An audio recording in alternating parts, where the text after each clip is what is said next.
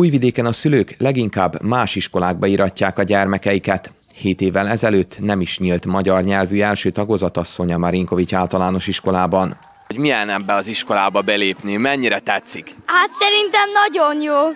Miért? Mi tetszett leginkább? Hát nekem mindenki tetszik. Hogyan tetszik az iskola, ahova bejöttél? Mi tetszik legjobban? Hát a tanárnőnénik a legjobb. A legtöbbet az, hogy hogyan néz ki az osztály. És hogyan néz ki? Szuper.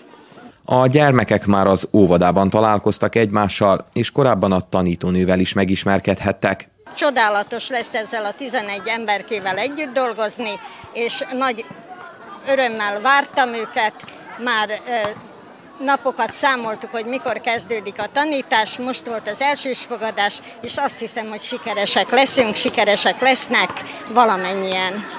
Összesen 43 magyar ajkú tanuló jár Asszonya Marinkovics általános iskolába, így a 11 elsős kisdiák sokat jelent az intézménynek, fogalmazott Takás Dániel, az iskola igazgató helyettese.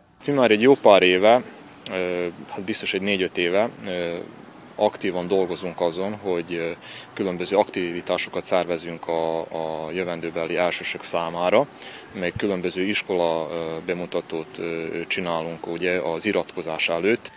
Az elsős diákokat ünnepélyes keretek között fogadták, a kis elsősök megnézhetik az új tantermüket is.